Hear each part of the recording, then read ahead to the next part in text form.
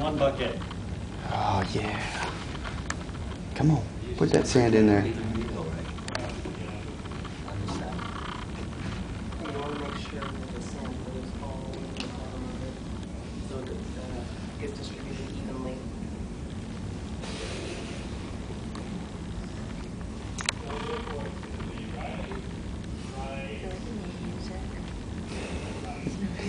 Dramatic music.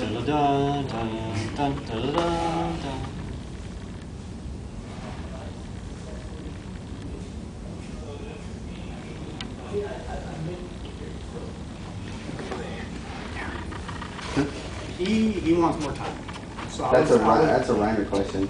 Well, right, so, and I'm just telling him that Go we're, we're gonna be doing this again for another class, so I can like tell him when that other class is and he Wednesday. show up with this. Yeah, we can call. I mean, we can call Reiner too.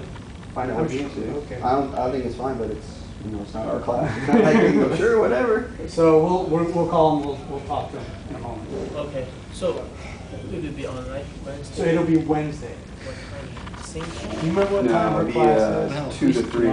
Two to three. Okay.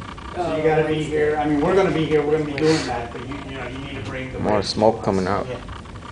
Uh, Actually, it's it's not so bad though because uh, Mhm. you know the sand we were using. Did you know sand is a No, I carcinogen? mean, it's not a competition. Yeah, the dust and I sand is a You're gonna be graded carcinogen. on the. So we were using that. I bought that's a This is 100% silica that's gonna have sand. uh, So it's It's really pretty.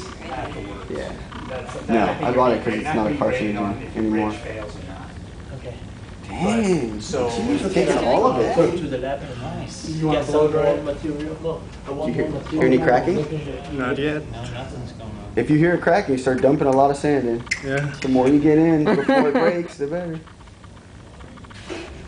Wow. We didn't get any more rain for more sand, right? Do we? Hmm? we have like high high score.